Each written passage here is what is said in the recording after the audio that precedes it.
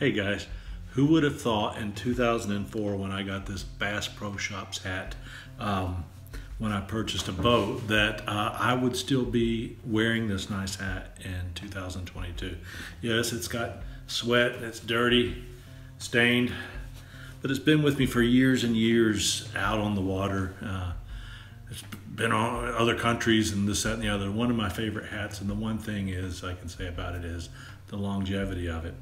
Well, I've got something here that I've made that is certainly going to pass the longevity of that hat. And this particular new knife that I've made is called the Kaw-Liga Flesher. It's another one of the knives from my Flesher series.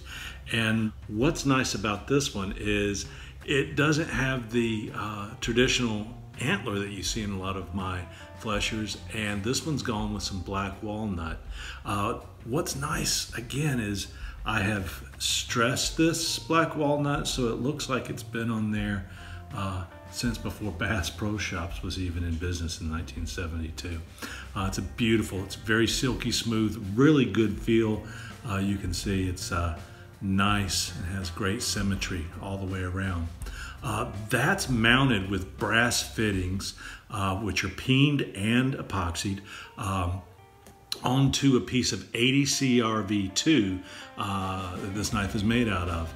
Additionally, I've put a bolo lanyard and one of my uh, deer bead antlers that I put on this one. Looks very natural. It's going to be a good knife for uh, in the field or, or wherever it's used. Uh, this knife has also been stone washed and chemically etched and I think you can see all that beautiful texture there and you can see that edge shining sharpened out to 25 degrees. This is the Kaw-Liga Flesher. Certainly every knife has to pass the test, which is the cutting test. This is sharpened to 25 degrees on a Lansky system and it is razor sharp. It will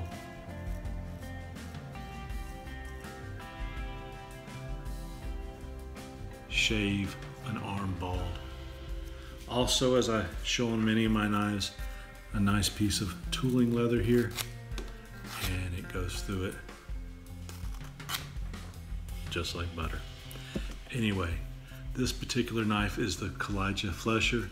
Features a nice sharpening choil, uh, checkering up here to lock that thumb in nice and neat. And uh, can you see yourself uh, skinning a deer out or a turkey or a pig or anything else with that. Or, hey, use it at home and use it as a paring knife. Great knife in the field, in the house, as an everyday carry. Hope you enjoyed it. It'll be available on my site, the Kaw-Liga Flesher. Have a blessed day.